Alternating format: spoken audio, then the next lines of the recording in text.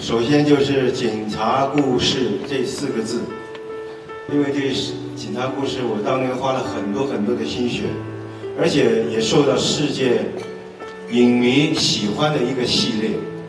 当然，最该意味着还这次谢霆锋做导演，这个吸引到我了。